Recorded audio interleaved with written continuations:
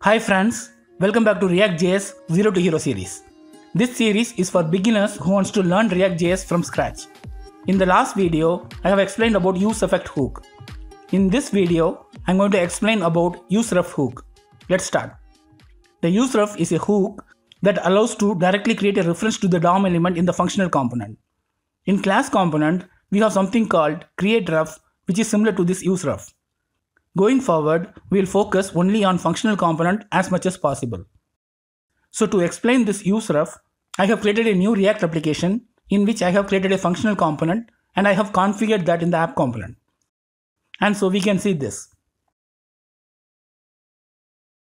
Here I have a text box and a submit button.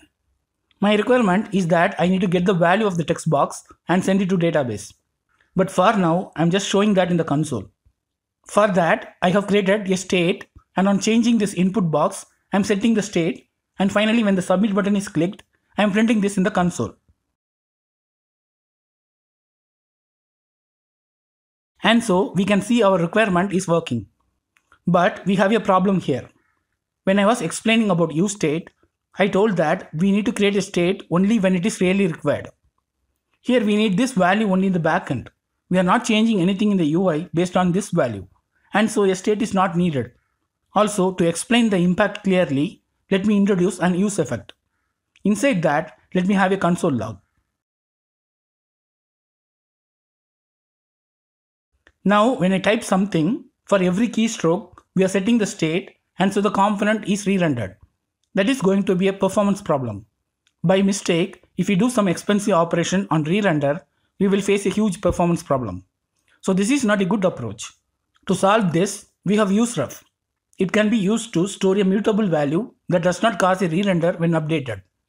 To use the useref, first we need to import that. And then we can call the useref function. Initial value can be null. And let me assign this to a variable. And then I can use ref to bind this to the DOM which we are going to access. In our case, I'm going to access this input element. And so let me bind this variable to this input element. Like this. Now we can access this input element directly. Let me console log this inside handle submit function.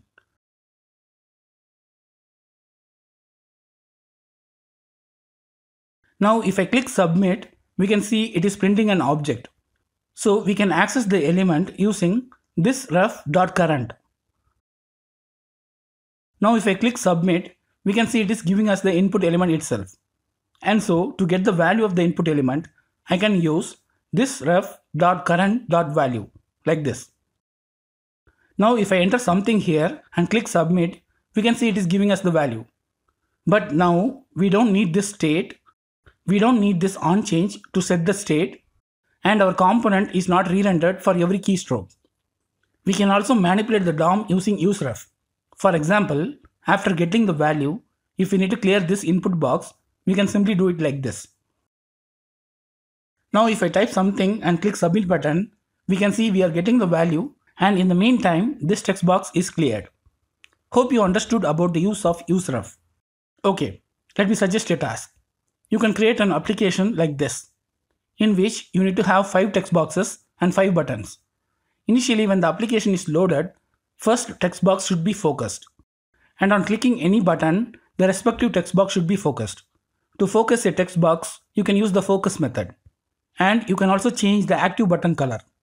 Try this. If you need the solution code, you can get it from this repo. The link is available in the description. That's all for today.